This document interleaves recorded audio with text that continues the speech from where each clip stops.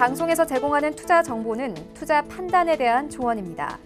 방송에서 제공하는 주식의 가치, 가격 상승 및 가격 하락에 대해서는 방송사에서 보장하지 않습니다. 네, 시청자 여러분 안녕하십니까. 출발 증시 와이드 2부로 돌아왔습니다. 최은입니다. 지난주 우리 증시 양 시장 모두 주간 기준으로 하락 마감했습니다. 코스피 시장은 2080선, 코스닥 시장은 628선에서 시장 종가가 형성됐는데요. 일단 이번 주에는요, 미국이 오는 15일부터 1,560억 달러 규모의 중국 제품에 15% 추가 관세를 부과할 예정입니다. 미국과 중국의 무역 협상 상황에 따라서 이번 주 우리 시장 움직일 가능성 커 보이고요. 또 이번 주에 미국의 ISM 제조업 지수 결과가 발표되는데 이에 따라서 시장 상황 움직일 것으로 보여집니다. 이러한 시장 상황들 오늘 출발 증시 와이드 2부에서 꼼꼼하게 다뤄보도록 하겠습니다. 먼저 라이브 매매 타임이 준비가 되어 있고요. 여기에 대해서 오늘장에서 이슈몰이라고 있는 특징 초까지 꼼꼼하게 살펴봐 드리겠습니다. 먼저 시초가 공약주부터 알아보고 가도록 하겠습니다. DB금융투자 김현겸 주식팀장 전화 연결되어 있습니다. 안녕하십니까? 네, 안녕하세요. 네, 오늘 좀 시초에 공략해볼 만한 종목이 있습니까? 네, 최근에 유통시장에 여러 가지 이야기들이 나오고 있는 것 같습니다. 뭐 롯데의 티몬 인수설도 뭐 이야기가 나왔었고요. 음. 어, 뭐 쿠팡 같은 경우도 뭐 추가 투자를 받기에 쉽지 않은 상황이다. 음. 그래서 뭐 해외에서 뭐 재무 투자자를 끌어들일 수 있는 이런 인력들을 지금 이제 인력 인력들 데리고 있는 데리고 오고 있는 상황인데요. 어 그만큼 어 지금 이런 유통 시장에서 어 종목을 찾아봤고요. 이마트에 대해서 좀 말씀을 드리겠습니다. 이마트는 신세계와 마찬가지로 이 SSG.com이라는 아, 그런 온라인 통합몰을 아, 지금 사용하면서 시장 아, 점유율을 늘리고 있는 상황입니다. 3분기에는 전년 대비 21% 성장을 했고요. 어, 직전 2분기 15% 대비해서 어, 좀 상승폭이 더 커지고 있는 상황입니다. 아, 그리고 12월 달에는 이번 달이죠. 온라인 전용 물류센터인 아, 네오3 센터가 본격적으로 가동이 되는데요. 뭐 그러면서 온라인에 좀 더 무게중심이 갈 수 있는 그런 분위기가 좀 형성이 되고 있는 상황입니다. 아, 그리고 지난 10월이었죠. 어, 이마트의 13곳 어, 세대엔 자산 유동화가 이루어졌는데요. 약 9,500원, 9천 9,500억 어, 상당의 자산 유동화가 이루어졌습니다. 이 자산 유동화가 어, 뭐냐면 뭐라고 말씀드리냐면 그 이마트가 가지고 있는 이 오프라인의 그 부동산을 아, 유동화, 그러니까 아, 부동산을 팔았다는 얘기죠. 어, 9,500억 원을 받으면서 13곳을 어, 이제 팔았다라고 보시면 좋을 것 같고요. 아, 지금 전국에 이마트가 100여 곳이 넘게 있고 트레이더스 등 그 이외의 것들도 많이 있는데요. 어, 그렇다고 하면 추가적으로 유동화 시킬 수 있는 물량이 아직도 굉장히 많다라는 관점에서 보시면 어 이제 온라인 유통의 이 싸움은 이 오프라인 유통 업체에도 전이가 되면서 본격적인 자본력 싸움으로 들어갔다라고 보시면 좋을 것 같고요. 이 쿠팡이나 이런 온라인에서 컸던 어 이런 유통 체인들의 추가적인 투자가 좀 제한적인 상황에서 이 오프라인 유통 체인의 온라인의 습격은 굉장히 위협이 될 수 있다라는 부분들. 아 그래서 처음에 이마트 같은 경우는 이 온라인 확장에 따라서 일단 아, 오프라인이 좀 피해를 받는다라는 관점에서 주가가 큰 폭을 하락을 했는데요. 지금은 아, 이제 온라인 쪽에 대한 기대감 이 부분을 바라보시면 좋을 것 같습니다. 그리고 동사가 이제 스타벅스 코리아 지분 50%를 또 보유하고 있는데요. 이 스타벅스의 아, 매출액과 영업이 계속해서 증가를 하고 있습니다. 올해 같은 경우는 약 매출액 1조 8천에서 2천 2억 원 1조 8천에서 2조 원이 예상이 되고 있고요. 영업이익은 2,750억에서 아, 약 2천억 원이 예상이 되고 있습니다. 그렇다고 하면 어, 약 지분 가치를 보시면 약 2조 원에서 3조 원의 가치가 아, 스타벅스 코리아를 가지고 있는 가치인데요. 현재 이마트의 시가총액은 3조 5천입니다. 그렇기 때문에 이 스타벅스 지분 가치를 제외하면 아, 보유하고 있는 땅이나 여러 가지 상황을 봤을 때 지금의 가격은 굉장히 싼 가격이다라는 것을 알 수 있을 것 같고요. 그래서 어, 향후에 온라인 쪽의 확장 이 부분을 주목해서 보시면 좋을 것 같습니다. 매수가는 12만 5천 원이고요. 목표가 17만 원, 손절라인 11만 원 말씀을 드리겠습니다. 네, 이마트에 대한 투자 의견 듣고 왔습니다. 지금까지 DB금융투자 김현겸 주식팀장과 함께했습니다. 고맙습니다. 감사합니다. 네, 본격적인 라이브 매매 타임에 갖기에 앞서서요. 오늘 저희와 함께 주실 두 분의 전문가 먼저 화면으로 함께 만나보고 오겠습니다.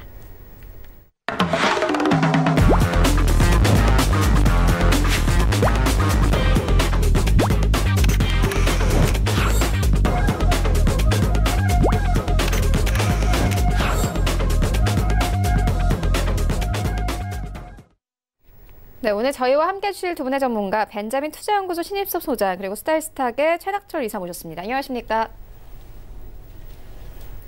네, 먼저 수익 현황부터 함께 만나보고 오겠습니다. 네, 전체 승률 탑 8입니다. 8위부터 함께 보시면 최낙철 이사의 액트로 올라와 있습니다. 11월 25일에 매수 의견 주셨고요. 14% 이상의 수익률 가져가고 있습니다. 목표가를 터치한 상황이고요. 7위에는 홍서민 팀장의 압타바이오 올라와 있습니다. 12월 4일에 매수 의견 주셨고 수익률 16% 가깝게 가져갑니다. 6위에도 역시나 최낙철 이사의 예스24가 올라와 있는데요. 11월 13일에 매수 의견 주셨습니다. 수익률 16% 이상 가져가는데 조금 이따 리뷰 들어보도록 하겠고요. 5위에는 윤여민 팀장의 MC넥스 올라와 있습니다. 11월 28일에 매수 의견 주셨습니다. 수익률 19% 넘게 가져가면서 목표가가 터치됐습니다. 4위에는 이청호 본부장의 더구전자 올라와 있는데요. 11월 13일에 매수 의견 주셨습니다. 수익률 23% 넘게 가져가고 있습니다. 1위부터 3위까지 함께 만나보시죠. 네, 3위에 함께 보시면 홍성민 팀장의 대창 올라와 있습니다. 11월 13일에 매수 의견 주셨고 수익 23% 넘게 가져가면서 목표가가 터치가 됐습니다. 2위에는 같은 종목이 올라와 있는데요. 매수 날짜가 하루가 차이가 납니다. 하체기위원회 대창 역시나 올라와 있고 11월 12일에 매수 의견 주셨습니다. 하루 더 빨리 매수 의견을 주셨는데 수익 1%더 높은 24.59% 가져가면서 목표가 역시나 달성이 됐습니다. 1위에도 하체기위원회 남아산업이 올라와 있는데요. 11월 5일에 매수 의견 주셨습니다. 한 달이 조금 넘었는데 벌써 수익률이 63%를 넘어가고 있습니다. 네, 리뷰 듣고 가도록 하겠습니다. 신일수 소장님께서 12월 6일에 위닉스를 추천해 주셨는데 현재 수익률 5% 가깝게 가져갑니다. 리뷰 들어보도록 하겠습니다. 네, 위닉스 지금도 좋네요. 지금 그 어, 그림을 봤더니 여름철에 한창 잘 나갈 때 그렇죠. 여기 보시면 여름철 그 전이죠. 3, 4월 달. 아, 이때 그 미세먼지 관련주로 뜨기 뜰 때 어, 이제 뭐 고점을 벗기나 하고 3만 원을 돌파해서 가려다가 거기서 다시 주저앉았거든요. 근데 이제 다시 그 부분으로 가고 있습니다. 여기가 뚫기가 굉장히 어렵나 봐요. 2013년에 고점을 그때도 그 3월 달에도 뚫었다가 급락해서 지금 다시 올라간 폭의 제자리까지 왔었거든요. 이게 중간에 이 밑에 최저점에 잡은 사람, 잡은 개인들이 그렇게 많지 않을 거 아니에요. 그러니까 이제 그냥 기다렸다면은 되게 허무하게 오히려 손실이 난 경우도 많았을 상황이었죠. 그러다가 이제 20개월 선에서 다시 지지라고 다시 올라가는데 지금 오늘도 확인 안 했는데 지금 미세먼지가 되게 심한 것 네, 같던데요. 맞아요. 맞죠? 네, 지금 네. 비가 온- 온다고 해서 낀 안개랑은 좀 틀린 것 같더라고요. 앵커님이 확인을 해주셨고 4만 3이라는 그 단어가 다시 등장을 했더라고요. 지금 아마 초등학생들이 배우는 교과서에는 4만 3이는 아직 안 실렸겠죠? 저 초등학생 교과서를 확인하지 않았는데 저 저 때 초등 아, 초등학교 전이었는데 사실 국민학교였는데 그때 아실 것 기억. 아직도 기억 기억나죠? 아 다들 아시나요? 당연하죠. 음. 근데 4만 4온이라고 배운 게 아직도 기억이 나거든요. 근데 4만 4온이 4만 3이로 바뀌어서 이제는 이렇게 되다 보면은 교과서에 4만 3이라는 단어가 실릴 날도 멀지 않을, 않지 않았나 이런 생각까지 들어요. 어, 그래서 위닉스가 이제 그 공기청정기 관련해서 네. 3월달에 부각이 되었었기 때문에 네. 겨울철 날씨가 추워졌다고 지금 안심할 수 있는 지금 시대가 아니다. 음. 결국 또 미세먼지 관련주가 부각될 가능성이 있기 때문에 이런 거를 좀 그 눈여겨보면 좋지 않을까 싶어요. 왜냐하면 풍국주정 같은 수소차 관련주도 지금 다시 이제 바닥에서 지금 뜨려고 하고 있고 위닉스도 미세먼지 관련주도 그렇고 예전에 조금 아주 오래전 아닌데 뭐 이번 연도 초나 이럴 때 조금 떴었던 네. 그 테마가 다시 한번 조금 움직이려는 지금 성향이 보여요. 그래서 위닉스도 그런 면에서 한번 겨울철인데도 우리가 안심할 수 없는 미세먼지 습격 이거 이 바람을 타고 좀 더 갈 수 있지 않을까. 이번에 다시 간다면 네. 다시 3만 원을 돌파한다면 한 번 3만 원을 돌파했었기 때문에 벽이 많이 옅어져 있어서 좀 더 상승이 강하게 나올 수도 있지 않을까 이런 생각이 듭니다. 음, 근데 오늘 보니까 1%뭐 상승 출발 예상되고 있더라고요. 그러면은 좀 시초에 한번 공략해봐도 될까요? 아 새로 사는 사람이요? 예, 네. 그것도 지금 좋습니다. 네. 지금 월봉을 주로 보여, 보여드리는데 네, 네. 일봉으로 와서 봐도 그쵸 월봉이 너무 길다면 근데 월봉을 확인하는 이유는 이 월봉의 장기 추세가 살아 있어야 일봉에서도 그 생명력이 길기 때문이에요. 음. 월봉에서 만약에 하락하고 있는 2015년 같은 이, 이 추세에 일봉이 21선이 올라가면서 잠깐 좋아서 여기 샀어요. 그러면 금방 떨어져요. 왜냐면 월봉에서 지금 꺾이고 있기 때문에. 근데 지금 월봉에서 올라오고 있는데 일봉에서도 지금 21선 위잖아요. 지금 쌍바닥을 그리고 있잖아요. 그러니까 단기적으로 오늘 아침에 공략하실 분도 괜찮다는 거죠. 네. 그렇게 하시면 될 것 같습니다. 네, 알겠습니다. 이어서 다음 리뷰 듣고 가도록 하겠습니다. 어, 최낙철 팀장님께서 예스24를 추천해 주셨는데 현재 수익률 16% 넘게 가져가고 있습니다. 더 좀 기대를 해봐도 될까요? 네, 예스24 같은 경우 더 추가적인 상승이 예상되고 있습니다. 아무래도 동사 같은 경우는 도서, 공연, 음반, 음반 상품을 판매하는 웹사이트입니다. 예스24 같은 경우는 5월 달에 한번 상승이 강하게 나오곤 이후로 이제 5,800원 부근에서 7,350원까지 박스권을 그리면서 긴 행보를 했습니다. 그때 동안 이제 이평선 부근들도 다 한꺼번에 모였는데 그때 위, 이평선들이 모이면서 방향성을 결정하는데 위로 향했습니다. 아무래도 이 실적이 개선이 되고 내년에 실적에 대한 기대감 측면이 있고 또 하나 같은 경우는 최근에 이 캐릭터 이 EBS 캐릭터 펭수에 이제 관련주로 엮이면서 주가 상승이 나오고 있습니다. 이 어, 펭수 같은 경우는 EBS 캐릭터로서 지금 최근에 2030에서 이제 직통령이라 불릴 만큼 강한 영향력을 행사하고 또 하나 신드롬을 불러오고 있습니다. 펭수 관련주 중 이제 대표적인 게 이제 유엔젤과 이제 S24가 같은데 S24 같은 경우는 펭수 20 어, 펭수의 이 굿즈 상품을 판매하고 있는데 이 펭수의 다이어리가 발간하자마자 예약 상품이 어, 강하게 맞아요. 음. 매출이 나왔기 때문에 아무래도 매출이 S24 같은 경우도 이 테마주도 얘기했지만 결국은 실적이 개선되는 강한 효과가 나타날 수밖에 음. 없습니다. 이 7,350원 돌파하였고 최근에 지금 이 7,900원대도 강하게 계속 지지가 되고 있기 때문에 지수가 더욱더 투심이 개선이 된다고 하면 더 추가적인 상승이 예상될 수 있다고 보고 있습니다. 네, 알겠습니다. 이어서 오늘장 전략 듣고 가도록 하겠습니다. 지난주 시장 금요일에는 그래도 시장에 상승세가 나왔습니다. 오늘 같은 경우에도 양 시장이 모두 상승 출발이 예상되고 있는 상황인데요. 소장님께서는 오늘장 전략 어떻게 보십니까? 사실 좀 안 좋습니다 우리나라 시장이. 그 저는 계속 얘기를 했는데 왜냐면 제가 제 주장이 아니 제 주장 아니 그러니까 제가 제가 느끼는 시장에 대한 것도 좀 한국 시장을 별로 안 좋게 봤지만 그런 팩트들이 너무 많이 나왔잖아요. 그러니까 개인 투자자들 중에서 대접받기를 싫어하거든요. 많은 그런 사람이 많아요. 무슨 얘기냐면 대접을 해주면 원래 좋아하잖아요. 막 VIP 대접해주면 좋아하죠 사람들이. 근데 주식시장에서 VIP 대접 받기 싫어해요. 그러니까 그게 무슨 얘기냐면 V 정말 VIP 같아서 대접을 해주면 좋은, 좋은데 그 뭐냐면 정말 그냥 극단적으로 얘기해서 신세계 정영진 부회장이나 삼성 이재용 부회장이 그 정도 돈을 가지고 지금 VIP 대접을 받으면 좋아요. 내가 나도 VIP라고 생각이 되니까 근데 너무 자산이 작은 사람에게 VIP 대접을 해준대요. 이게 뭐냐면 세금을 많이 내겠대요. 그러니까 아니 그 정도 돈으로 지금 주식 투자하는데 그 이렇게 VIP 대접을 해주면 난 지금 뭐 세금도 다다 오르고 이러는데 힘들지 않냐. 그래서 실제로 엑소더스 현상이 많이 로 계속 일어나고 있어요 지금. 그 지금 사실은 저기 어 소가 없어요. 지금 이 농장에 우리나라 농장에 소가 없어요. 그리고 사실은 이게 뭐냐면 조금 작은 뭐 개구리나 뭐 이런 것들만 남아 있는 거예요. 그래서 지금 실제로 우리나라 증시에서 돈이 많이 빠져나갔고 어제 어떤 뉴스에서는 뭐 그 OECD 국가인가 그 전체 다 했을 때 지금 뭐 거의 꼴찌에서 지금 놀고 있죠. 우리나라 상승률은. 그러니까 전혀 커플링이 안 되는 게 큰 손들이 다 빠져나가고 외국인은 또 엄청나게 팔아 제끼고 있기 때문에 네. 굉장히 어렵습니다. 솔직히 이런 상황에서는 개인들끼리만 그냥 막 우당탕탕 치고 받고 있는 상황이거든요. 아, 네. 그래서 결국에는 지금 테마주밖에 없는 것 같아요. 이런 시장에서는 뭐 지수주에 이게 기대할 만한 음. 지수주에 기대하려면 큰 자금이 들어와야 되고 지금 지수가 올라야 되는데 지수는 계속 지지부진하고 네. 결국에는 테마주인데 테마주가 그렇게 쉽지만은 않다.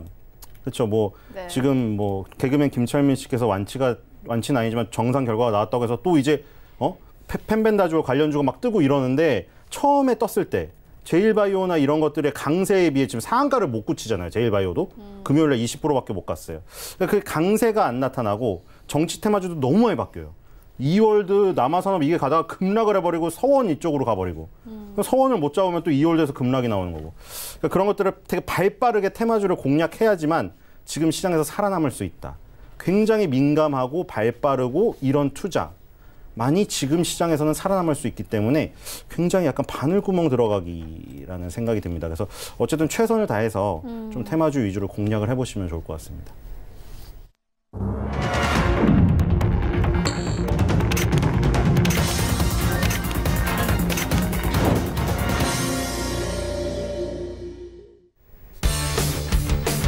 네, 12월 9일 월요일 국내 시장 개정이 됐습니다. 지난주 우리 증시는 양 시장이 모두 약보합권에서 마감이 됐습니다. 주간 기준으로 코스피는 소폭 하락하면서 2080선, 코스닥 시장은 628선에서 마감이 됐는데요. 하지만 지난주 금요일 외국인들이 22거래일 만에 코스피 시장에서 순매수하면서 코스피 시장 1% 이상의 강세를 보이면서 하락폭을 조금씩은 만회하는 모습을 보였습니다.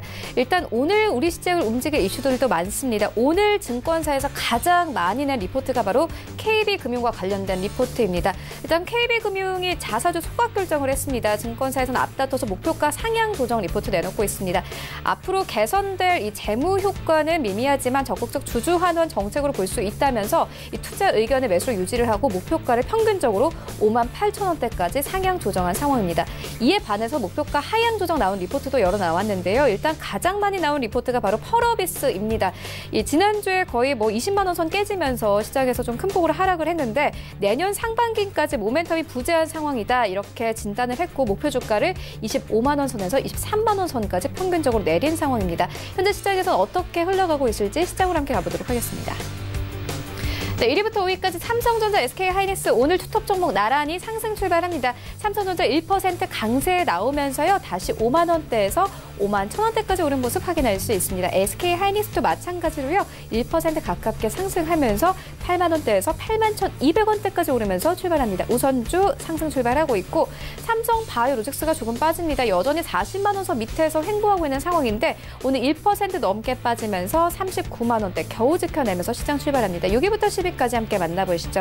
일단 IT 종목들 투톱 종목이 선전하고 있는 가운데 현대차는 오늘 조금 상승합니다. 0.84% 상승 흐름 나오고 12만 원 선까지 바짝 다가섰습니다. 지난주에 좀 지지했던 12만 원 선을 이탈하는 모습을 보여줬죠. 현대모비스는 보합권, 셀트리온도 마찬가지입니다. LG화학 오늘 1% 이상의 강세가 나오는데요. 지난주에 4, 4분기 실적에 대한 우려감과 함께 30만 원 선 하회하는 모습 보였습니다. 오늘 1% 강세 29만 7,500원대 현재 출발하고 있고요. 신한지도 약보합권 4만 3,650원에 오늘 시장 출발합니다. 지수 만나보시죠. 네, 오늘 양시장 그래도 경고합니다. 코스피 0.35% 상승 흐름 나오면서 2090선까지 바짝 다가섰고요. 코스닥 시장 오늘 630선 회복하면서 출발합니다. 코스닥 시가총액 상위 종목들의 흐름도 만나보시죠. 네, 1위부터 5위까지 혼조 흐름 나옵니다. CJNM, 약보합권, 펄어비스 오늘 1% 가깝게 하락을 하고 있습니다. 어, 앞서서 좀 전해드리기도 했는데 펄어비스 내년 상반기까지 상승 동력이 부재한 상황이다. 이렇게 좀 증권사에선 보고 있고요. 목표 주가를 23만 원까지 하향 조정한 상황입니다.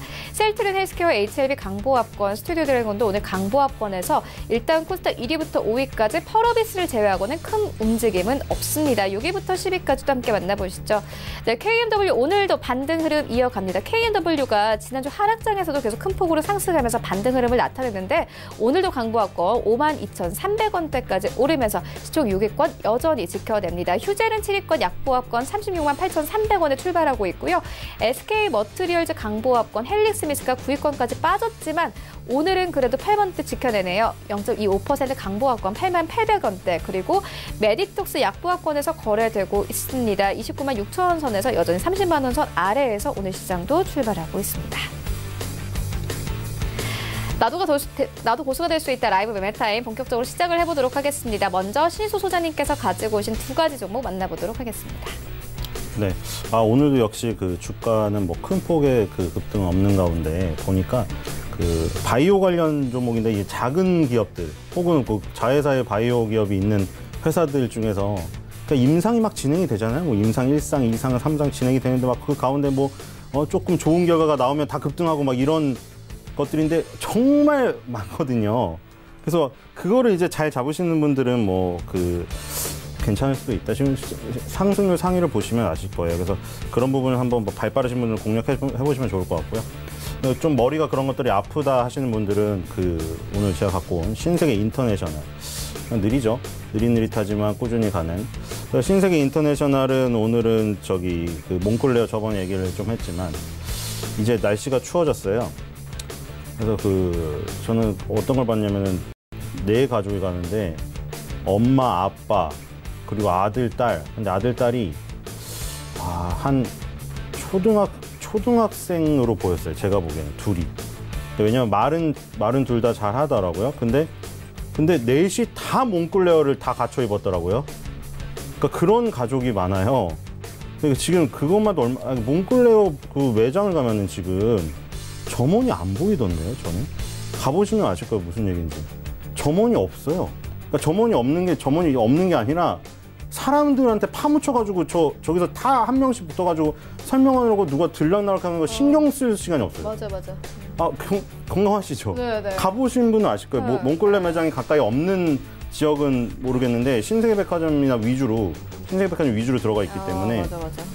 가면은 뭐 가- 그냥 갔다 들어갔다가 그냥 나 혼자 나와요 그냥 왜냐면 시- 인사할 그것도 없어요.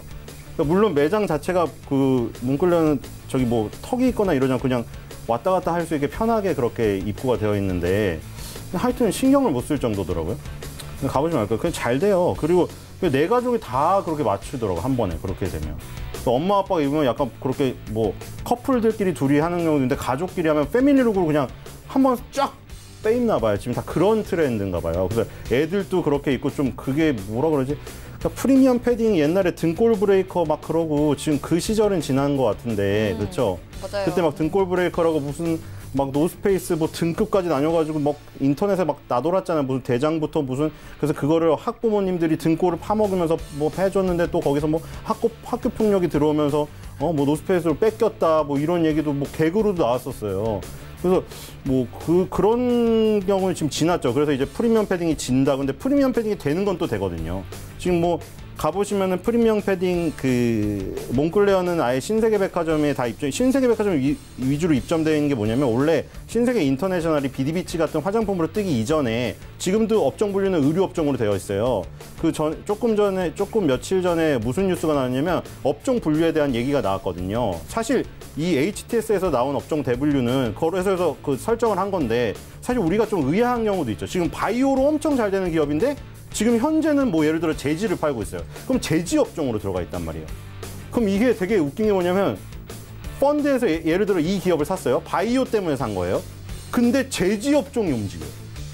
그러니까 이, 이런 게 조금 안 맞는다. 어떤 그 기자가 이런 뷰를 썼어요. 근데 그걸 못하는 게 그 해당 그 사업으로 매출이 50% 이상을 넘어야지 업종 분류를 바꿀 수가 있대요. 그래서 지금 그런 것 때문에 신세계 인터내셔널 가- 같은 경우도 마찬가지예요. 지금 사실 화장품으로 엄청나게 뜨고 다 보고서는 화장품으로 나오는데 화장품 업종이 아니에요. 그러니까 지금 의류 업종으로 분류가 되어 있으니까 뭐 착각을 할 수도 있거든요. 그러니까 그런 거는 알아서 민감하게 받아들여서 선 그 좀 파악을 하셔야 돼요. 어쨌든 지금 오늘 얘기 드린 거는 아직도 지금 의류 업종은 잘 나가고 있다. 몽클레어를 원래 수입해다 팔았어요.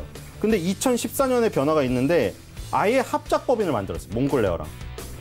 그래서 어떻게 되냐면 지분이 신세 몽클레어 신세계를 만들었어요. 몽클레르 신세계를 신세계가 49% 신세계 인터내셔널이 49% 몽클레가 51% 지분을 가진 합작 법인에서 팔고 있는 거예요. 지금. 그러니까 이건 지금 본격적으로 2014년부터 잘 될 잘 되니까 본격적으로 이걸 같이 그냥 한 몸이 돼서 사업을 하는 거예요. 그동안 그냥 떼와서 파는 거죠. 로열티만 주고. 근데 지금은 합작법인이 되어서 팔기 때문에 잘 된다는 거죠. 그리고 지금 가보시면 뭐 노비스니 이런 거 팝업으로 다 들어와 있어요. 그러니까 지금 프리미엄 패딩 뭐 그 뉴스가 있더라고 4,900원짜리 와인은 팔, 와인도 팔리는데 수백만 원짜리 패딩도 팔린다. 완전 지금 극과 극으로 나타나는 소비거든요. 아. 지금. 그래서 이 프리미엄 패딩은 계속 잘 돼요. 뭐 경기가 어렵단 말든 지금 가족이 다 맞춰 있고 그런 것들이 일어나기 때문에 신세계 인터내셔널의 몽클레어 패딩 이 추운 겨울이 오면 올수록 이쪽이 또 부각된다. 아직도 지금 화장품 업종으로 분류가 안 됐습니다. 신세계 인터내셔널은 지금 아직도 의류 업종이고요. 의류 업종의 본연의 이 지금 어, 트렌드 그리고 뭐 그 수익 그 원은 계속 파워를 갖고 가져 나와, 나오고 있기 때문에 20개월 선에 붙어 있는 이 시점에서 다시 주목을 해야 될 것 같습니다. 손절가 21만 원, 목, 목표가 30만 원입니다. 두 번째 종목은 NC 소프트, NC 소프트입니다. NC 소프트 좋죠. 지금 그 옛날부터 계속 얘기 드렸는데 그 택진이 형 싫어하시는 분들이 너무 많더라고요. 지금. 택진이 형 밤새 써요? 그 소녀가 물어보는 것도 제가 사투리 못해요. 사투리 못했는데 거기서 사- 사투리를 하죠. 근데 그것도 되게 뭐 비아냥거리더라고요.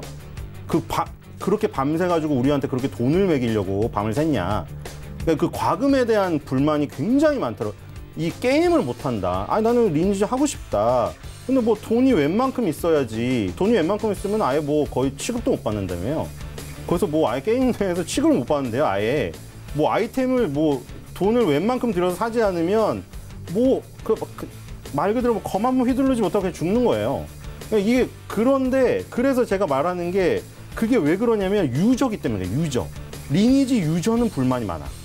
그러면 그 불만이 안 많으려면 리니지 주주가 되면 불만이 안 많아요. 아 맞는 얘기 아니에요. 결과론적인 얘기지만 2002년에 만 원이었거든요. 2002년에 안정환 선수 골든골 골든골 넣을 때 2천 만 원이었어요. 만 원. 지금 얼마예요? 지금 56만 원이에요. 56만 원. 이 정도면은 주주였으면은 솔직히 택진이 형 보고 더 밤새라고 하지 않을까요?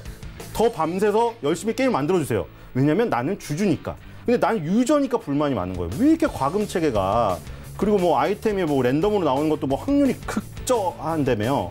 그래서 그게 뭐 돈을 계속 쏟아부어도 아이템이 내가 원하는 게 안 나고 다 필요 없는 아이템만 나와서 열이 받는다는 건데 그러니까 열이 받는 주주들이 유저들이 많으면 주주들은 행복할 수 있다. 이게 좀 반대예요. 그러니까 어쩔 수 없어. 이거를 자본주의 사회이기 때문에 자본주의 사회 배를 같이 항해하는 배를 잘 나가는 배에 타세요, 그냥.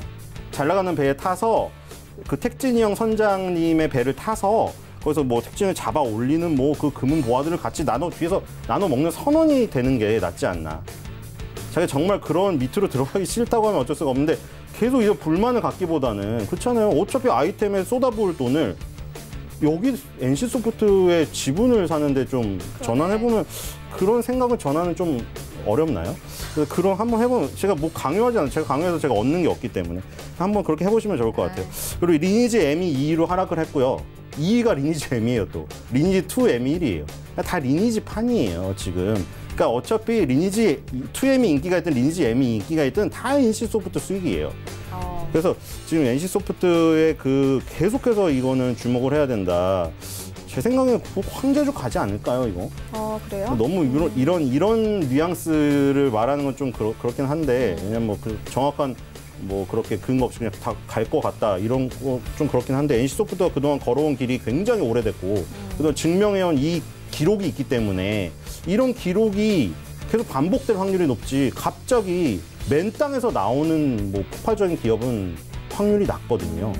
그러니까 이렇게 꾸준히 올랐던 기업이 미래에도 꾸준히 화- 확률이 더 높은 거죠. 그래서 계속 보시면 좋을 것 같습니다. 손절가 52만 원, 목표가 60만 원입니다. 네, 신세계 인터내셔널과 NC소프트 만나보고 왔습니다. 이어서 최낙철 이사의 두 가지 종목 만나보도록 하겠습니다. 네, 첫 번째 추천드릴 종목은 서부 TNT입니다. 동사는 공영 화물 자동차 정류장 등 사업 목적으로 1979년에 설립되었고 이 1995년 9월에 코스닥에 상장한 회사입니다. 동사는 관광 호텔업, 쇼핑몰 운영업, 물류시설 운영업, 석유류 판매업을 주요 산업으로 영위하고 있습니다. 동사를 추천, 어, 추천드리는 투자 포인트는 총 세 가지인데요. 첫 번째는 중국인 관광객 증가 및 호캉스로 객실 점유율 상승 중에 있다는 측면입니다. 서울 드래곤시티 호텔은 그랜드 머큐어 엠버서더 서울 용산, 노보텔 스위트 엠버서더 서울 용산, 노보텔 엠버서더 서울 용산, 이비스 스타일 엠버서더 서울 용산은 등 4개의 아코르 호텔 그룹 브랜드로 구성되어 있으며 1,700개의 실로 대한민국 최대 객실을 보유하고 있습니다. 또한 약 4,900여 명의 수용 가능한 컨벤션 시설을 갖추고 있습니다. 또한 올해 중국인 관광객이 늘고 있다는 측면이 있습니다. 10월을 한국을 방문한 중국인 관광객은 56만 7,695명으로 전년 동월 대비 19.4% 증가하였으며 1월부터 10월까지 중국인 관광객 누적 수는 500만 8,775명으로 전년 동기 대비 28.2%로 늘어났습니다. 이와 같은 중국인 관광객 증가와 더불어 호캉스 등 서울 드래곤시티 객실 점유율이 1분기에는 40% 중반, 2분기에는 50% 중반, 3분기에는 60% 이상 상승하고 있을 뿐만 아니라 주말에는 90% 이상 객실 점유율을 확보하고 있습니다. 무엇보다 이런 객실 점유율 상승으로 관광호텔 부분업의 실적 개선이 이루어질 수 있다고 보고 있습니다. 두 번째는 신정동 사이트의 자산가치 부각 측면입니다. 신정동 사이트 경우 투자 부동산으로 약 3,500원의 가치를 반영되고 있습니다. 향후 도시 첨단 물류 복합단지로 개발될 예정이며 사이트 규모 및 위치 측면에서 서울 서남권 핵심 상업으로 및 물류시설 거점 역할로 부각될 수 있다고 판단되고 있습니다. 이에 따라 동사의 자산 가치는 상승이 예상되고 있습니다. 세 번째는 PBR 0.7배로 저평가 측면입니다. 현재 동사의 주가는 예상 시- 올해 예상 실적 기준으로 PBR 0.7배로 매력적인 valuation 수준입니다. 주가도 8월 달에는 6,900원까지 하락을 했다가 다시 상승하고 있고 이동 평균선 5일선과 60일선이 어, 21선이 61선과 120, 선을 돌파하였고 8,800원대까지 상승을 하였다가 잠시 조정 중에 있습니다. 호텔 객실 점유율 상승 및 신정도 자산 가치 상승을 고려할 때 추가적인 상승이 나올 수 있다고 파- 판단되어 추천드리겠습니다. 매수가는 현재가, 목표가는 만원, 손절가는 7,750원입니다. 두 번째 추천드릴 종목은 동성 화이텍입니다. 동사는 화공품 수입 알선 및 판매 목적으로 설립된 회사이며 연결회사는 크게 PU 단열재 사업 부분 및 가스 사업 부분으로 나뉘며 PU 단열재 보호 사업 부분으로 초저네온 본행제, PU 시스템, 샌드위치 판넬 산업으로 구분되며 가스 사업 부분은 냉매, 방제 시스템 사업 부분으로 구분되어 있습니다. 현재는 해외가스 프로젝트 참여 및 LNG 추진, 추진 삼복 사업에도 사업 역- 역량을 확대 진행 중에 있습니다. 동사를 추천드리는 이유는 두 가지인데요. 첫 번째는 2020년, 2021년에 21년도에 조선소서들의 LNG선의 인도량 증가 측면입니다. 한국 조선소들의 LNG선 인도 물량은 2019년에는 29척, 2020년에는 39척으로 늘어나고 있습니다. 2021년에는 51, 50, 51척으로 더 늘어날 것으로 예상되고 있고 조선소들의 LNG 건조 물량이 앞으로 2년간 더욱더 늘어날 것으로 예상되는 만큼 동성 화인텍의 본행제 공급량 시차를 두고 더욱더 늘어날 것을 어렵지 않게 기대해 볼 수 있다고 보고 있습니다. 한국 조선소들의 LNG선, LNG선 수주 성과도 상승하는 움직임을 서서히 보임에 따라 동성 하이텍의 봉냉제 공급 가격도 시차를 두고 오르고 있는 모습을 보이고 있습니다. 물량의 증가와 공급 가격의 상승은 동성 하이텍의 실적의 성장폭을 더욱더 높이게 예상되고 있고 2020년에는 동성 하이텍의 영업 실적은 매출액은 3천 113억 원으로 영업이익은 401억 원으로 영업이익률이 12.9% 증가할 것으로 추정되고 있습니다. 두 번째는 대형 조선사들의 대규모 LNG, LNG선 수주 계약 측면입니다. 삼성 최근에 삼성중공업의 유라시아 지역 선주와 함께 15억 달러의 LNG전 수, 어, 수주 계약이 체결한 것을 공시하였습니다. 이번 수주 선박은 러시아의 야메 LNG선 두 번째 프로젝트 선, 어, 프로젝트이며 수주, 서- 수주 척수는 다섯 척이며 러시아 현지 건조 조건으로 알려져 있습니다. 올해 7월 러시아 노, 노바텍과 프랑스의 테크닉의 어, 간에 70억, 6억, 76억 달러 규모의 야말 LNG선의 두 번째 프로젝트에 EPC 계약이 임박했음이 외신 보도를 통해 드러난 후 4개월 만에 어, 한국조선소의 선박 건조 계약이 체결되었습니다.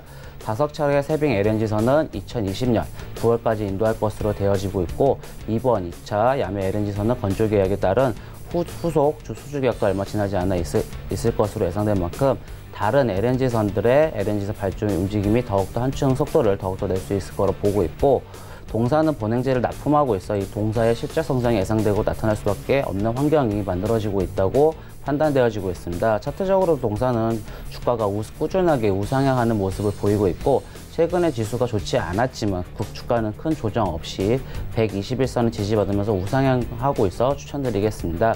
매수가는 현재가, 목표가는 11,200원, 손절가는 8,800원입니다. 네, 지금까지 만나본 종목들 화면으로 함께 정리해보고 오도록 하겠습니다.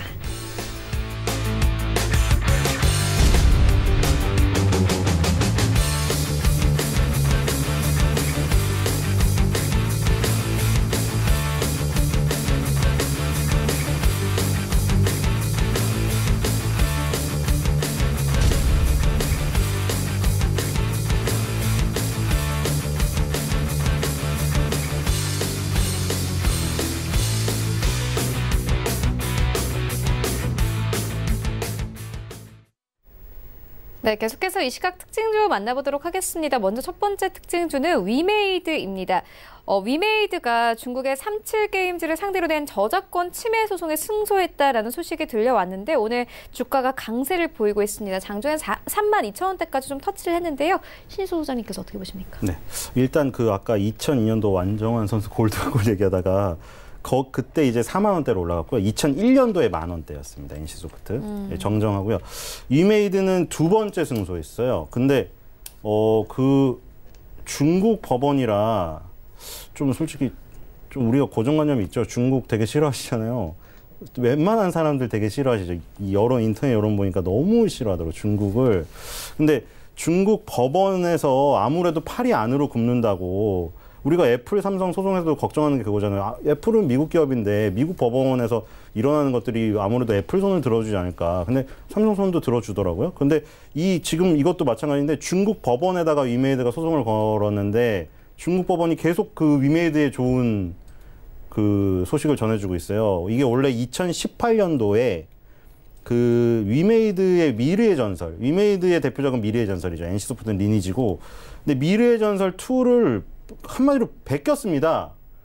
전기패업이 중국명인데 전기패업이라는 게임이 똑같이 그냥 만들었어 요 그냥. 근데 이게 뭐 위메이드의 정당한 대가를 지불한 게 아니었어요. 그래서 2018년에 이 중국 법원에서 이 정식 라이센스를 받지 않았기 때문에 이 그 서비스하는 37 게임즈한테 게임 서비스 마케팅 운영하는 행위 즉각 중단하고 관련 자료 모두 폐기해야 된다고. 일단 이거 하나 승소 가져왔고 오늘은 모바일 버전에서 또 승소를 했어요. 그래서 이제는 이 37 게임스가 전기패업으로 자기 마음대로 중국에서 어 막 그 허락 없이 그런 게임을 막 서비스하거나 이럴 수가 없게 된 것 같아요 지금. 그래서 위메이드의 미르의 전설 2 그리고 시리즈들이 그 중국에서 위메이드 거를 어 이제 그 전기패업이 없어져 버리니까 전기패업이 말 그대로 폐업하게 됐어요 지금. 그래서 위메이드의 지금 굉장히 좋은 소식이죠. 위메이드는 NC 소프트랑 틀리게 2012년부터 저, 무려 7년째 박스권이라 위메이드 이거 갖고 계신 분들은 정말 너무 답답하실 거예요. 지금 올드보이의 정말 반 정도까지 박스권이거든요, 지금. 근데 이게 4만 5천 원만 벗어나게 되면 이것도 한번 크게, 왜냐면 7년 동안 이 묵었던 게 터지면 엄청나거든요. 반등이. 그래서 이 소식이 지금 이쪽 4만 원대로 올라가는 좀 기폭제가 되기를 하는 바람이고 아무래도 이 그 우리나라에 그 좋은 게임들이 많은데 중국에서 자꾸 베끼고 이래가지고 다른 것도 많이 베끼잖아요. 베끼고 이래서 정당한 어떤 그 연구원들이 노력하고 이랬던 결과가 이렇게 무너지는 것들을 막아야 된다. 그래서 위메이드의 이런 승소는 굉장히 뜻이 깊은 것 같고요. 위메이드의 상승세에 조금 도움이 될 것 같다는 생각이 듭니다.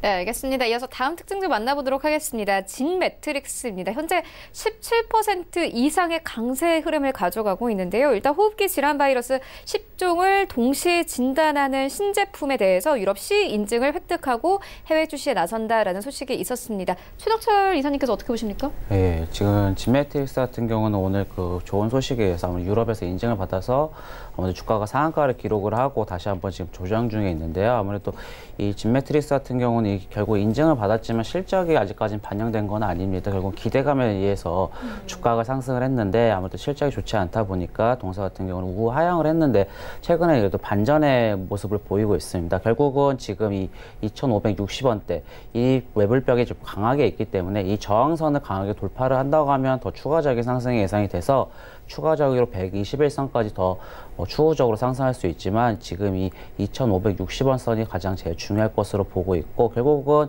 이 인증을 받고 더 추가적인 이제 매출이 발생한다면 다시 한번 주가는 우상향할 수 있는 흐름을 볼 수 있기 때문에 오늘의 어, 주가 흐름이 가장 제일 중요할 것으로 보고 있습니다.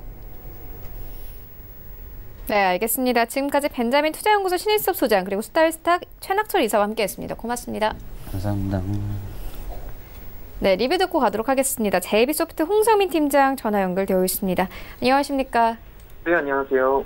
네, 팀장님께서 11월 13일에 대창에 대해서 추천 의견을 주셨는데 현재 수익률 23% 넘게 가져가고 있고요. 목표가로 주신 1,470원도 이제 넘어섰습니다. 지금 좀 매도를 해봐도 될까요? 네, 대차는 이제 현재 구간 일부 이제 비중 축소는 해주시고 나머지 비중은 이제 2차 목표가까지 말씀드린 부분까지 이제 홀딩 하시면 되겠습니다. 현재 대창 같은 경우에 이제 비철금속 섹터로도 포함이 되는데 최근 전기차 수요가 증가해 구리 수요 긍정적인 영향을 미치면서 주가 상승 모멘텀에 긍정적으로 작용하는 모습입니다. 또한 이제 이낙연 총리 관련주로 후발주로 포함이 되어서 현재 주가가 빠르게 우상향하는 모습을 보여주고 있습니다. 주가 흐름 한번 살펴본다면 이제 12월 5일 급등 이후 현재 매물대에서 매물 소화하는 모습을 보여주고 있습니다. 기술적 분석 시 단기 조정 가능성은 열려 있지만 큰 폭의 조정이 아닌 매물대 일정 기간 횡보 이후 추가적인 상승 가능성 열어둘 수 있으며 중장기적인 상승 모멘텀 또한 충분히 남아 있기 때문에 앞으로 더 기대하셔도 될 것 같습니다. 2차 목표값은 1,780원 말씀드리겠습니다. 네, 그렇다면 오늘 장에서는 어떤 종목 보고 계십니까? 네, 제가 금일 이제 추천드릴 종목은 리스터라는 종목입니다. 네, 온라인 만화 제작, 유통업 및 만화 출판업 영위 목적으로 2002년 11월에 설립되어 2015년 11월 동부 제2호 기업 인수회사와 합병하면서 5회에 상장했습니다. 국내 무역 4대 천왕으로 불리는 황성, 야설록, 사마달, 하승남의 지적 재산권을 보유하고 있겠습니다. 연간 약 3천 건에 달하는 무협 만화를 자체 제작해 동사의 플랫폼을 통해 판매하는 모습을 보여주고 있습니다. 이오스 게임 인수를 통해 게임 사업에 진출하였으며 게임 사업 부문을 분할하여 2018년 10월 블루포션 게임즈를 설립한 바도 있겠습니다. 네, 최근 동사 이제 국내 최초 중국 웹툰 플랫폼과 작품 공급 계약 그리고 에오스레드 실적 온기 반영 기대감 등으로 상승한 흐름을 보여주고 있습니다. 여기서 이제 에오스레드 같은 경우에는 이제 연간 매출액이 327억 원으로 올해 전체 예상 매출액의 51% 비중을 차지할 수 있으며 게임 유통 채널 확대 및 해외 시장 공략 그리고 IP 활용, 다각화를 통해 게임 사업은 미스터블루의 핵심이 될 전망입니다. 동사는 이제 웹툰 분야 쪽에서도 이제 중국 웹툰 시장의 성장이 전체 선제적으로 대응하고 있으며 국내 웹툰 시장이 비약적으로 성장함에 따라 자체 플랫폼과 독점적인 콘텐츠를 다수 보유한 동사의 경쟁력도 점차 강화될 전망입니다. 기존 웹툰 사업부의 안정성과 이제 모바일 게임 사업부의 성장성이 더해지고 있어 향후 시장의 관심도가 더 높아져 좋은 주가 상승 흐름 기대해 볼 수 있을 것 같습니다. 세무 상태를 보게 된다면 이제 3년 연속 흑자 기록하고 있으며 상반기 매출액이 161억 원을 기록해 창사 이래 반기 최대 실적을 달성했습니다. 영업이익은 이제 전년 동기 대비 17.7% 증가한 18억 원이고 자체 플랫폼 가입자 수가 증가함에 따라서 이제 건당 평균 결제 금액 상승에 따른 B2C 매출 증가와 외부 플랫폼의 온라인 이제 만화 웹툰을 제공하는 B2B향 콘텐츠 공급 확대로 영향이 이제 영향을 보여주는 모습입니다. 예, 자회사 이제 블루포션 게임즈에서 개발한 모바일 게임 에오스레드가 이제 국내 서비스를 시작함에 따라 하반기에도 충분히 이제 실적 전망이 기대된다고 볼 수 있겠습니다. 네, 주가 흐름 같은 경우에는 이제 전체적인 주가 흐름이 추세가 아직 상승 흐름을 유지하는 모습입니다. 120 이평의 이제 지지를 잘 받는 모습이고 그리고 이제 다시 현재 이평이 수렴하는 모습을 보여주고 있습니다. 기술적 분석 시 현재 가격대 매물 소화 이후 중장기적 모멘텀이 낮은 위치가 아닌 어느 정도 높은 위치에서 고개를 들 준비를 하고 있어 다시 한번 좋은 주가 상승을 기대해 볼 수 있을 것 같습니다. 현재 가격대 매수는 메리트 있다고 말씀드릴 수 있으며 수급 또한 이제 최근 국내 증시의 외국인의 수급이 부진한, 모습, 부진한 모습이지만 삼거래 연속 이제 순매수세가 들어오는 점 유심 있게 봐야 할 필요가 있습니다.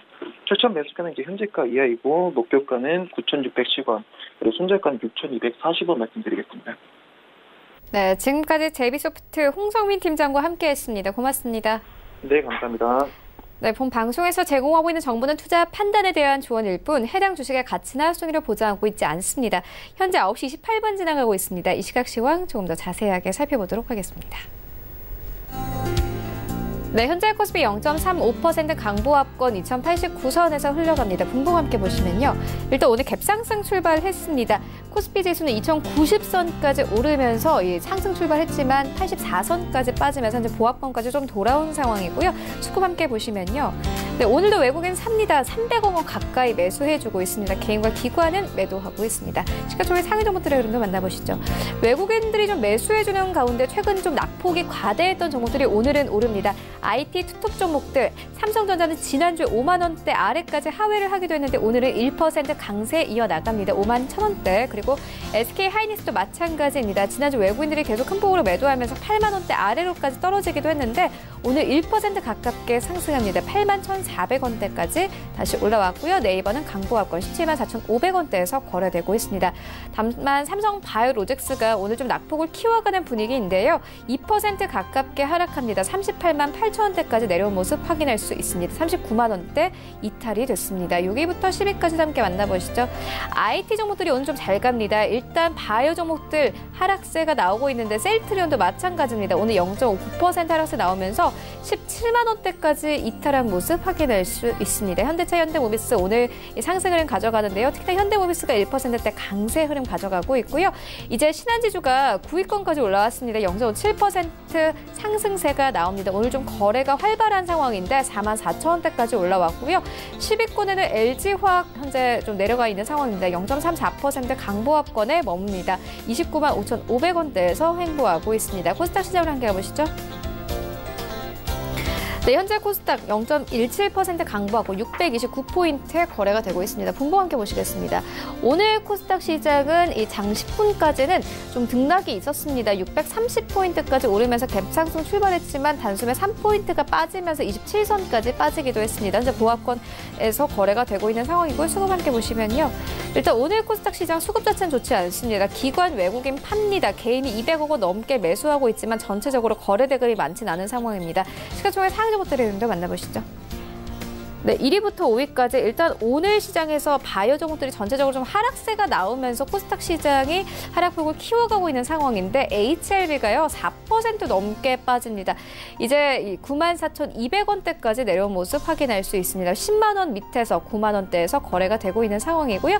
셀트른 헬스케어 1% 가깝게 빠집니다. 4만 7천 원대 이탈되고 4만 6,600원대까지 내려왔습니다. CJ는 강보합권에 머뭅니다. 15만 2천 원대, 펄어비스 마찬가지 마찬가지로 1% 가깝게 빠지고 스튜디오 드래곤 그나마 하락폭이 그리 크지는 않습니다. 약보합권에 머물고 있습니다. 77,200원대에서 거래되고 있습니다. 일단 1위부터 5위까지 흐름 좋지는 않습니다. 6위부터 10위까지도 함께 만나보시죠. 네, 6위부터 10위까지는 혼조 양상인데요. KMW 오늘도 반등세 이어갑니다. 지난주에 하락장에서도 큰 폭으로 상승을 했었죠.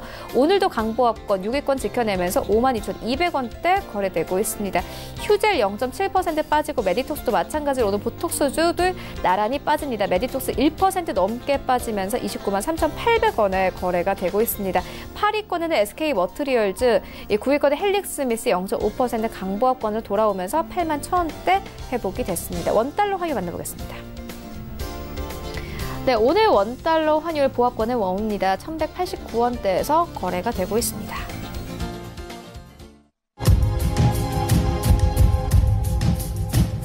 네, 출발 증시 와이드 2부와 함께하고 있습니다. 지금 장중에 저가 매수 신호 포착되고 있는데요.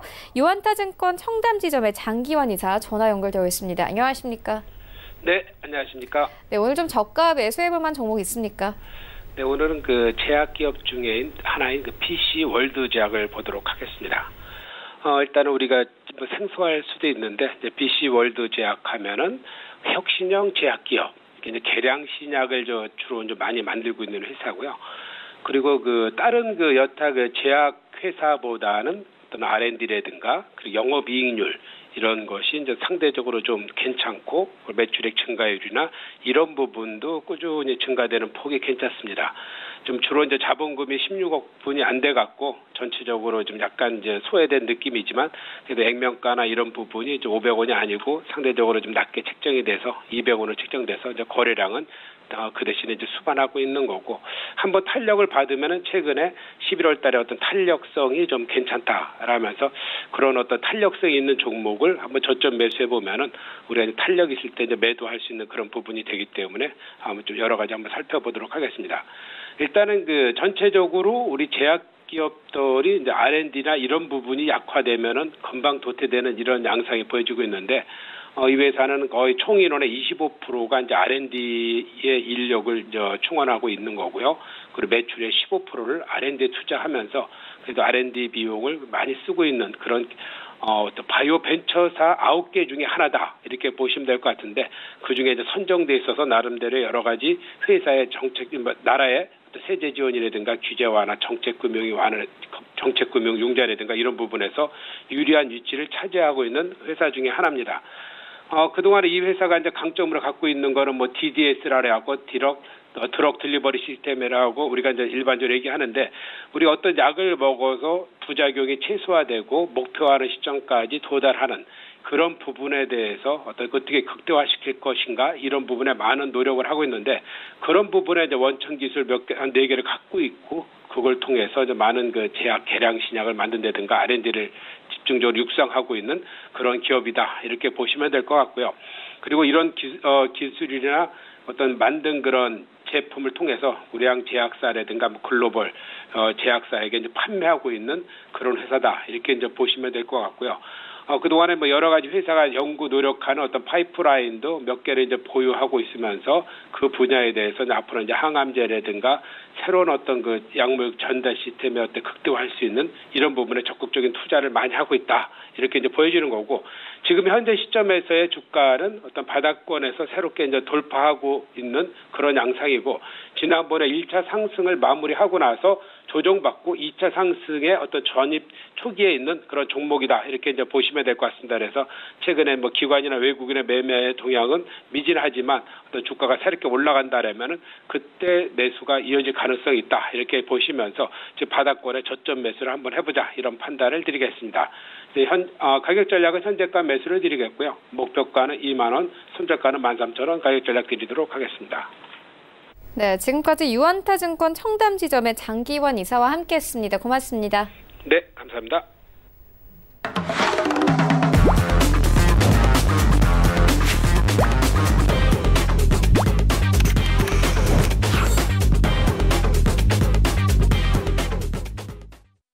네, 오늘 장 시장 흐름 살펴보는 시간입니다. 하책의 낚아채기 시간인데요. 샘플러스 하책의 전문위원 전화 연결되어 있습니다. 안녕하십니까? 네, 안녕하세요. 하책 위원입니다. 네, 위원님 오늘 장 흐름 어떻게 보고 계십니까? 네, 장 초반에 조금 시장이 어, 생각보다 잘 치고 나가지 못하고 있었죠. 지금은 이제 코스닥 쪽에서 조금 힘을 좀 내고 있는데 이제 그 이유는 일본 쪽에서의 니케이 지수도 시가 대비 좀 밀리면서 어, S&P 500 선물 지수라든가 나스닥 선물 지수가 어, 지금 약간의 좀 하락세가 나오다 보니까는 국내 지수가 아침부터 좀 제대로 힘을 좀 발휘하지 못하고 있는 그런 상황이 좀 되겠다는 말씀 드리겠고, 그 다음에 이제 수급 쪽으로 봤을 때도 지금 외국인 쪽에서 코스피 쪽으로 먼저 매수세가 좀 들어왔다가 지금은 선물과 그리고 또 콜옵션 쪽으로 좀 들어오고 있는 그런 흐름인데요. 어, 제가 보기에는 오늘 장 초반에는 장중에 조정을 좀 주고 그리고 나서 장 후반에는 상당히 좋은 흐름으로 끝날 것으로 좀 예상이 된다라는 말씀을 드리겠습니다. 그리고 미국 쪽에서 어, 금요일에 좋은 이야기가 나왔었죠. 음, 지표가 발표가 됐었는데 어, 트럼프 대통령의 미중 무역 협상에 보다도 더 어, 중요하게 여긴다는 게 바로 이 고용 쪽이다라고 이야기를 했는데 11월 신규 고용이 26만 6천 명이 나오면서 상당히 증가를 했다. 시장에서는 한 18만 7천 명 정도 증가할 것으로 예상했는데 그래서 반세기 만에 최고의 좀 좋은 결과가 나왔다 이렇게 말을 하고 있죠. 근데 트럼프 대통령 스타일에 따라서 이게 얼마나 갈지는 모르겠습니다만은 일단은 좋은 이야기가 나왔다라고 보시면 되겠고 그 다음에 제조업종에서도 최근에 계속해서 좀 부진이 있었는데 5만 개 이상의 일자리가 좀 나왔다라는 또 이야기가 나왔고요. 그 다음에 제가 여러분들께 10월 31일에 방송 통화를 연결하면서 유가 장기적으로 1년 넘게 하락을 했다. 이제는 장기적으로 우리가 유가 상승에 대한 대비도 해야 된다는 말씀 드리면서 유가 상승 관련된 종목들 계속해서 말씀을 드렸습니다. 어, 정해주라든가 그 다음에 화학주 말씀드렸는데 뭐 아람코 상장으로 인해서의 뭐 전해주들이 조금 조정이 나왔지만은 어, 이게 오히려 악재가 호재였다라는 말씀을 드리겠고 그 다음에 금 가격에 대해서도 제가 한번 두 번 정도 언급을 좀 드렸었죠. 어, 금 가격이 장기 상승한 후에 어떤가요? 장기 하락을 한다라는 말씀을 좀 드렸었는데, 자, 지금 그 뒤로 보시면은 계속해서 금 가격이 어, 하락을 좀 하고 있다라는 말씀을 좀 드리겠습니다. 그래서 금 가격이 하락을 하고 있다는 것은 안전 자산이 어, 좋지가 않다라는 거죠. 그러다 보면 위험 자산 쪽으로 자금이 몰린다 이렇게 좀 보시면 될 것 같습니다. 그래서 제가 여러분들께 원달러 지수를 계속해서 어, 강조를 드리긴 했지만은 제가 원달러 강조를 드리면서 여기에서는 지금 당장 추세는 어, 전환하기는 힘들다라고 말씀드렸죠. 그 이유가 바로 자, 금 가격이 하락을 하고 있기 때문에 말씀드렸었습니다. 자, 이제 그 원달러 지수가 오늘 자, 5일선을 깨는 음봉이 나오는지 안 나오는지 확실하게 체크를 하고 가시면 되겠고요. 오늘 5일선을 깨는 자, 하락세 음봉이 나온다 하면은 여러분께서 시장은 자, 반등 상승의 힘을 발휘하겠다라고 시그널을 잡고 뭐 대응을 하시면 되겠고요. 그다음 이번 주에 어 조금 음, 정치적인 이벤트도 있고 우리가 좀 상당히 중요하게 여기고 있는 어, 미중 간의 무역 협상에서의 관세 이야기가 이제 15일 날 이제 어, 최종적으로 되는데 여기에 이제 부과를 하느냐 하지 않느냐가 약간 가장 가장 음, 시장을 크게 좀 흔들 것 같고요. 그 다음에 FOMC 회의 여기 좀 발표가 됩니다. 수요일에 이것도 이렇게 체크하셔야 되겠고 그 다음에 어, 목요일이죠. 12일에 선물 옵션 올해 마지막 동기 동시 마감 어, 만기일 있다는 말씀 드리고 그다음에 영국에서의 조기 총선이 좀 진행이 됩니다. 이것도 한 주간에 좀 계획을 좀 잡고 여러분께서 좀 보시면 되겠고요. 자 그러면 오늘 이제 미국 어, 미국 현지 시간으로 어, 오늘 9일입니다. 그러니까 우리나라 하면 내일이겠죠 새벽에. 자 중국산 가금육 수입 허가를 발표할 예정이기 때문에 이것도 오늘 좀 지켜봐야 될 것 같고요. 그다음 미국 하원에서의 법사위에서의 그 탄핵 대한 이야기가 나옵니다. 그래서 트럼프 대통령의 우크라이나 스캔들에 대한 논의가 예정이 되어 있다라고 보시면 되겠고, 그다음 삼성 바이오로직스 쪽에서의 이야기가 하나 있습니다. 어, 분식 회계에 따른 증거 인물 어, 증거 인멸 지시 혐의로 해서의 삼성 임직원에 대한 1심 선고가 오늘 잡혀 있습니다. 과연 이게 어떤, 어떤 결과가 나올지에 따라서 삼성 바이오로직스 좀 주가에 또 영향을 미칠 수 있다는 것도 여기서 참고하시면 되겠고요. 그 다음에 아침에 좀 뉴스가 나오긴 했었죠. 문재인 대통령이 U2의 그룹이죠. 록밴드의 보컬이자 사회운동가인 보노와의 청와대 만남을 가질 것이다. 그래서 어, 북한의 피해 핵화, 그 다음에 어, 북미 대화에 대한 적극 이야기가 좀 나올 것으로 되기 때문에 또 이 사람이 2005년도에 노벨 평화상 수상자 후보 명단에도 좀 오른 적이 있었기 때문에 그래서 어, 여러분께서 남북 간에 지금 대화도 좋지 않고 북미 간에도 서로 강대 강으로 치닫고 있는데 또 이러다가 어떤 계기를 또 위해서 또 좋은 일이 보일 수 있기 때문에 조금 관심을 좀 두어보자라는 말씀을 드리도록 하겠습니다. 네, 그렇다면 오늘 어떤 섹터 주목하고 계십니까? 네, 뭐 인공지능 관련된 종목들 우리가 꾸준히 좀 지켜봐야겠죠. 뭐 정부에서의 투자 이야기도 기업에서 투자 이야기 나오기 때문에 그리고 휴대폰 부품도 좀 봐야겠습니다. 특히 내년에 갤럭시 폴드폰이 출시가 되 어, 본격적으로 좀 매출이 좀 잡히지 않을까. 그리고 또 음, 중국 쪽에서도 계속해서 제품이 나오고 있고 그다음에 어, 애플 쪽에서도 내년에 좀 기대가 되기 때문에 좀 보시면 되겠다는 말씀 드리겠고요. 그다음에 제약주들도 좀 계속 보자는 말씀 드립니다. 뭐 오늘 좀 치매 관련된 종목들도 지금 올라오고 있는 그런 흐름인데요. 화요일입니다. 샌 안토니오 유방암 학회 유방암 학회가 개최가 되는데요. 여기에 우리나라 회사인 알파홀딩스 관계사인 온세코가 발표 예정이 되기 때문에 그래서 알파호딩스 관련해서 좀 보시자 말씀드리겠고 그다음 미세먼지 좀 봐야 할 것 같습니다. 오늘 아침에 네, 기상 뭐가 나왔었죠. 미세먼지 나쁨이 나왔기 때문에 미세먼지 관련된 종목들은 여러분께서 다 과거부터 계속 관심을 가지고 계시겠지만 뭐 크린앤사이언스, 뭐 위닉스 뭐 성창 오토텍, KM 등이 있습니다. 50 모나리자도 있고요. 그다음 정치인 테마주도 좀 봐야 할 것 같습니다. 자, 바른미래, 아, 바른미래당이, 어, 이제, 갈라졌다. 이렇게 보시면 되겠고, 자, 비당권파 쪽에서의 창당 이야기가 나왔습니다. 그래서 유승민 의원이 뭐 대구에서 강력하게 좀, 어, 당선이 되겠다라고 좀 필요를 했기 때문에 정치인 테마주도 좀 관심을 좀 가져보시면 좋겠다라는 말씀 드립니다. 네, 그렇다면 오늘 좀 낚아채 볼 종목에는 어떤 것들이 있을까요? 짧게 부탁드립니다. 예, 오늘은 제가 어, 서울 반도체를 좀 말씀을 좀 드리도록 하겠습니다. 어, 서울 반도체 같은 경우는 과거에 LED 쪽으로 해서 상당히 많이 상승을 했는데 이제는 너무 많이 고생했기 때문에 이제는 조금 빛을 볼 때가 되지 않았느냐. 예사 같은 경우 백색 가전, 그다음에 헤드폰 및 중대형 백라이트 유니트라든가 이게 이제 노트북, 그다음에 모니터, TV 등, 그다음에 교통 신호 등, 그다음에 전광판, 자동차 조명 등에 사용되는 LED 제품을 이제 생산을 하고 있는데요. 내년에 미국에서 CES 2020이 열리게 됩니다. 그런데 삼성전자를 비롯해서 세계적인 대형 IT 업체들이 마이크로 LED 신제품을 대거 선보일 예정이기 때문에 그래서 내년 CES, CES 대비해서 좀 LED 관련된 종목들 좀 보자는 말씀드리겠고 자, 그 다음에 애플에서도 내년에 출시한 아이패드와 그 다음에 16인치 맥북 프로에다가 마이크로 LED 탑재를 할 것으로 좀 잡히고 있고요. 그 다음에 소형인 애플워치 디스플레이 가능해서도 또 마이크로 LED에 LED로 전환 이상이 된다는 거. 그다음에 서울 반도체 손자 회사인 글로벌 UV LED 전문 기업이죠.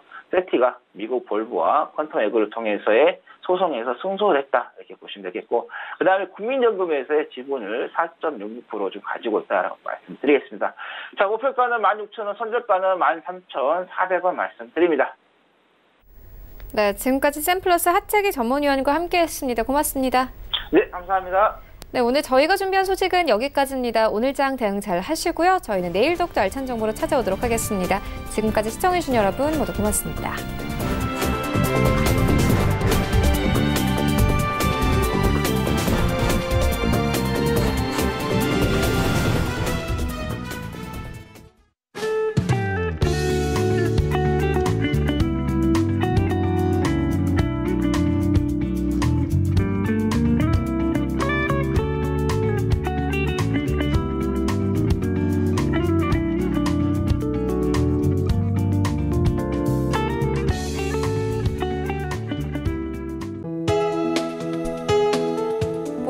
방송에서 제공하는 투자 정보는 투자 판단에 대한 조언입니다.